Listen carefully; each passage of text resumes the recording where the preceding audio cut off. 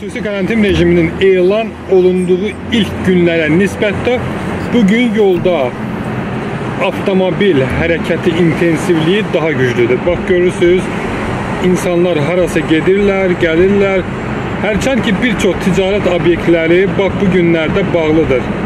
O zaman ortaya sual çıxır ki, bax bu qədər insanlar hara gedir? Sanki e, karantin günü deyil, normal günlərdən biriymiş kimi. Bax Ziya Bünyadov prospektindəyik və qarşı yola baxın, yetərincə avtomobil sıxlığı var. Normal günlərdəki kimi, yəni karantin olmayan günlərdəki kimi avtomobil sıxlığı müşahidə olunmaqdadır. Baxın, baxın.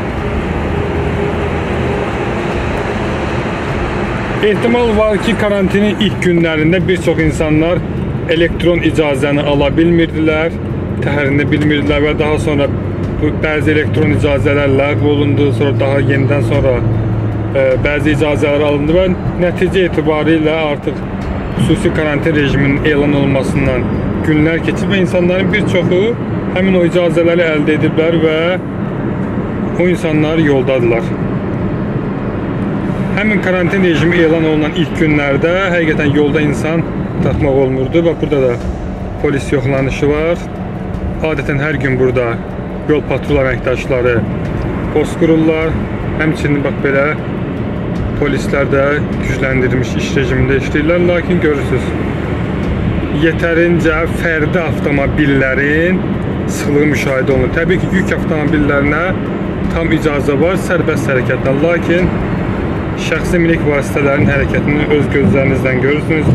İnsanlar demək olar ki, yollardadır hamısı.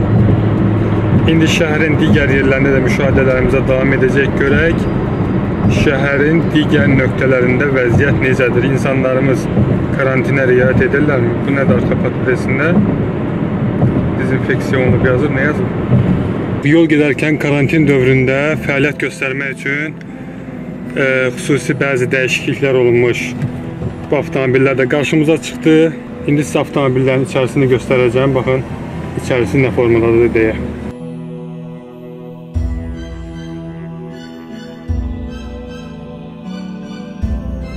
Arxaya belə